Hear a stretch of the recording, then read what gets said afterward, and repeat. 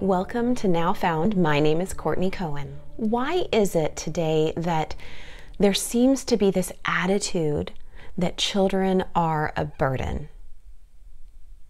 Why is it that our occupational desires, our feelings, our fears tend to take precedence over our kids?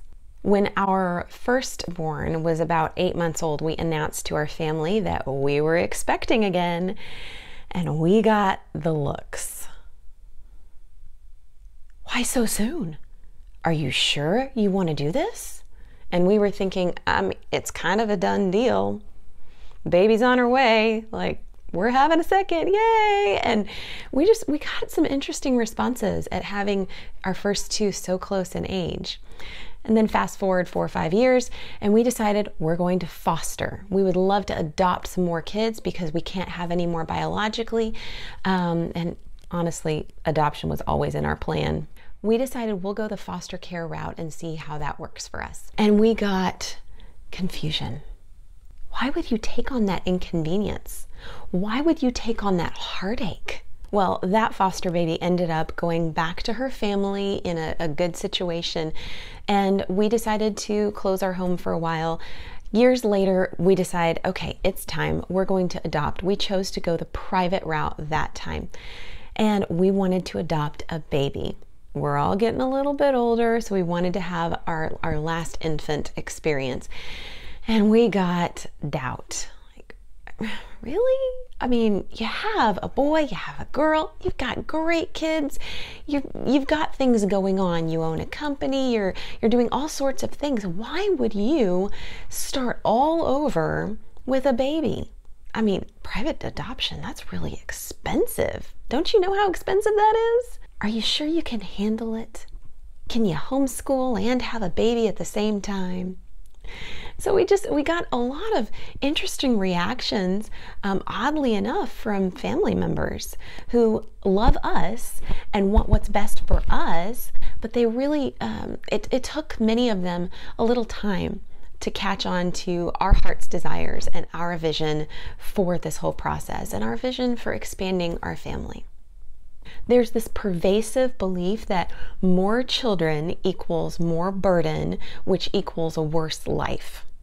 Now, you and I know if you've ever been around a kid, even if you don't even have your own, if you've been around them, you know, they're not easy.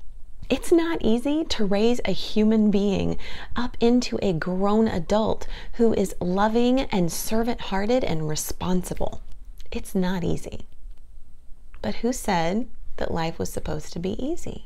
Life was never easy with my first two. They come with their own struggles, just like I came with struggles for my parents, I'm sure. But that's not a burden, that's an opportunity. Now, regarding adoption, there's some people that have an attitude why would you take on somebody else's problem? Hmm. So, just because my youngest daughter was not born from my body doesn't mean that she isn't exactly where she belongs. Not a problem. She is a privilege.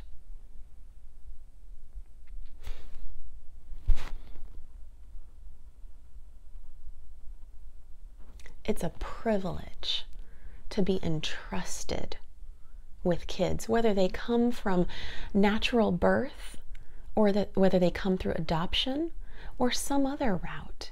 It's a privilege. And I think that we need to shift the way that we think about this. Instead of thinking from this mindset that I have to do this, I have to do that in order to be a parent, I have to get up and take care of my kid. How about we switch that? I get to. I get to. These this last almost year, I have gotten the privilege of snuggling a newborn again every day.